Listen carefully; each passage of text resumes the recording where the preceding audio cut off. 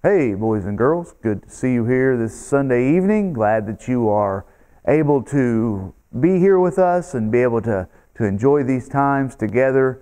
Um, I know we haven't been having Sunday nights, but this is kind of our kids' corner time where we can learn. And we've been studying something. What have we been studying? Yes, I've kind of got these right here. We've been studying the Ten Commandments, the Ten Commandments, and we've walked through them. And remember, they're found in Exodus chapter 20 and Deuteronomy chapter 5, and you can read that list of the Ten Commandments that God gave to Moses to bring to his children to help them to do two things to help them to live according to Him and pleasing to Him and honoring to Him, and then to live in peace and cooperation with everyone else. That's why He did that. He put them on a stone tablet, two, two stone tablets, and he gave them to Moses to bring down to the children of Israel. The first four deal with our, our relationship with God, and the last six deal with our relationship to others, and we studied that. And we looked at the first commandment. Remember the first one? What was it? Thou shalt have no other. Oh, let me turn it right. Thou shalt have no other gods. I mean, we only have one God, the God of creation. Worship and serve Him only. Then we went to number two, right? What was number two? Thou shalt not make any graven images. That means we're not to make things out of clay or out of stone that are images of things that we would worship. We need to worship the God. And our God is an invisible God. We can't see Him, right? But we know that He is God and that He is with us because of His creation, because of everything He does for His blessings on our lives. We know that God is real, that He's out there, and we need to worship Him and worship Him alone, not some image that we've made. That image can't help us, can it? No, only the one true living God that's alive and well and, and helping us can we be the one that we need to worship. We need to worship Him. And today we're going to look at number three, commandment number three. What is it? Let's look and see what it says. It says, You shall not take the name of the Lord your God in vain. In vain. Say it again. You shall not take the name of the Lord your God in vain. So don't take the name of the Lord in vain. What does the word vain mean? Well, it means empty or nothing or worthless. So let's not use the Lord's name as something that's empty or something that doesn't really mean anything or something that is worthless. To say the Lord or God with no good purpose. So when you say the word Lord or the name Lord or the, the name of God and you don't have a good purpose for it, that is using it in vain. See, God is holy. This means that God is perfect in everything that He does. Because He is holy, we can worship Him and honor Him and respect Him in every way. That's what we need to do. We need to worship, honor, and respect God and all of His names in every way. When we use His name in a way that is not honoring, respecting, or worshiping, then that is using the name of the Most High God in vain. And that's something that God commands us not to do. He didn't want His children just to go around saying His name and using His name and throwing it around like every other word in the English, English language. He wanted it to be special, set apart, and honoring when, he, when we use the name of the Lord and with respect. So that's what he wanted to do. Here are some examples. You know, people use the use words like "oh God" or just God, and they are not using it in a state of prayer or worship. They are just using it as common language. They're using it as everyday words. And when we use it as everyday words, then it loses its meaning. It, there is no honoring, and we need to use it in a way that honors the God of heaven. And when we don't, this is wrong, and we shouldn't do that. We also need to use God's name in a way that tells others who God is. When we use God's name and then we do something wrong and we use it as, well, God does this, and, and we go and do something wrong, or God says it's okay, and we lie about that, and we don't use it in a respectful way that shows who God really is, then that is wrong also. Who is our God? Well, Our God is holy. We just talked about God being holy, right? That means He is perfect in every way. You know, God never has done anything that is wrong. He is perfect. And we need to make sure that when we use His name, we use it in a perfect way that references our perfect God, our holy God. He is love.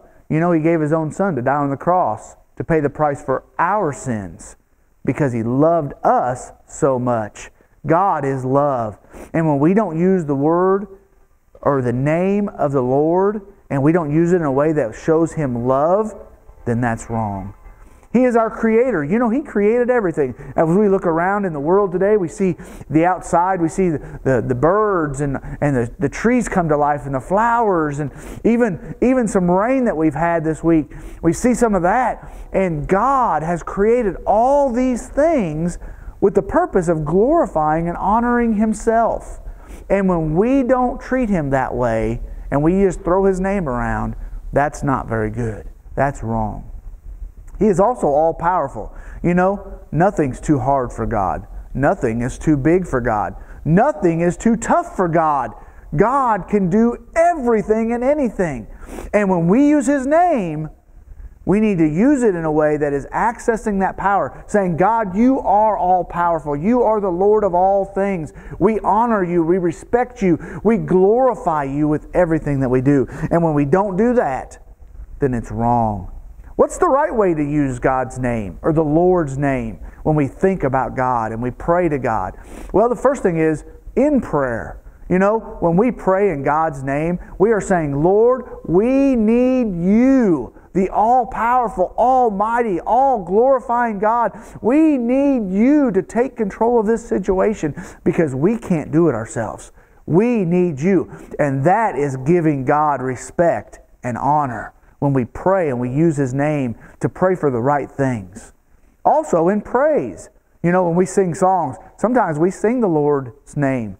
Sometimes we talk about the Lord's name. And after that, we talk about how great our God is, how mighty our God is, how strong our God is. And when we sing God, God's name, and when we sing songs that are praising Him for who He is, that is giving Him glory and honor and that is the right way to use the Lord's name. Also, in preaching, I understand maybe you're not a pastor. Maybe you're not a, a necessarily, you're going to stand up at the pulpit like Brother Brad and preach. You might one day, but right now you're not. But you know what? Every single person who loves God is supposed to tell others about God. That's kind of a way of preaching, isn't it? Tell who God is. Tell what God has done in your life. Tell of all the good things that God has done. Because we are to tell others about what God has done for us and also what God can do for them.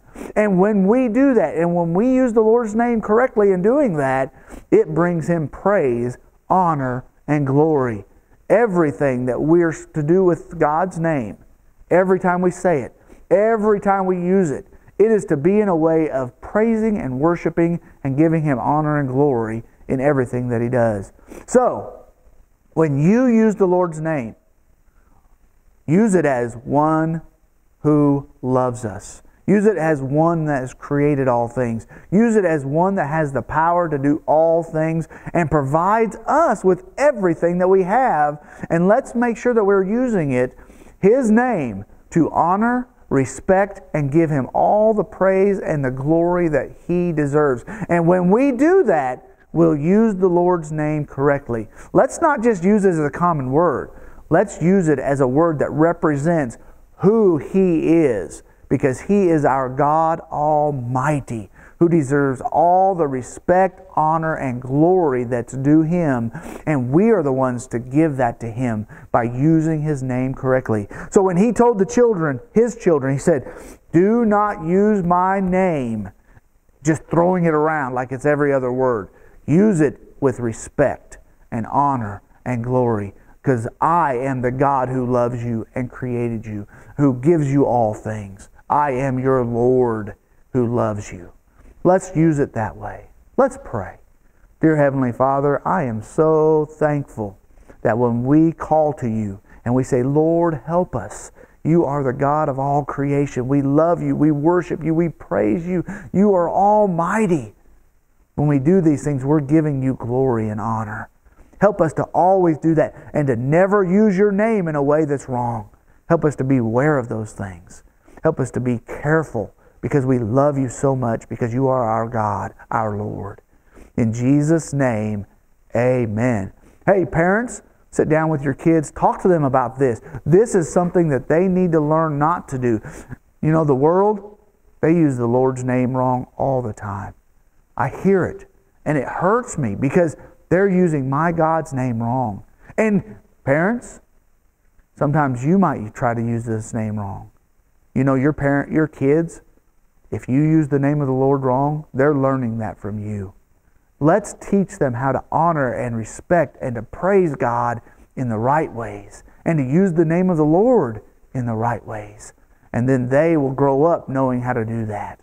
So you will be their example. So please teach them correctly. Talk to them about this. Make sure they know that we are to give God respect and honor and glory in our lives, in everything that we do.